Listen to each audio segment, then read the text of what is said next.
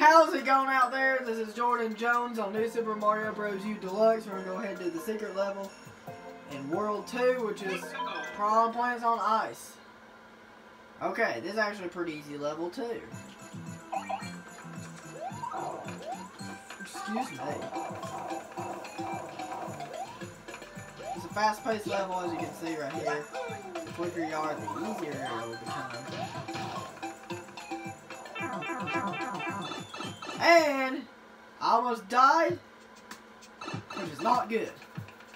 And that's the hardest star point to get in the entire level, I think. Once you get out of the way, it's easy. The rest of it is just a, a joke. As long as you're fast. The faster you are, if you if you just figure on the level, you get out star points. You just have to look for this one. I'll jump here. Go inside the pipe. Yes. Right here, want to do is, it's actually pretty easy. Just have the piranha plants melt the ice. Then as soon as this one's melted, jump up here, grab the star coin, and you're done with the second star coin. But still have one more, which is the one where you can go really, really fast to get.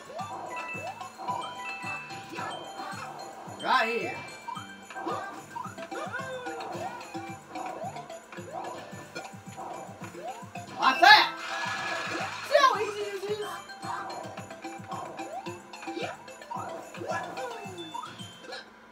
We could have got the top for another one up, but doesn't matter.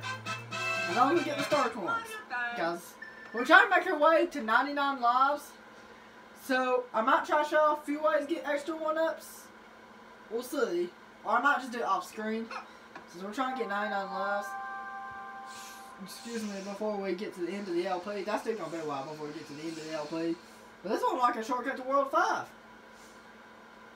I cannot wait for World 5. I know it's gonna be a while before we get there. I can be patient. I just love World 5 so much. It's just my favorite world. Now we have one more level left of World 2, which is the castle. Now, is it top, does helpful and a good one?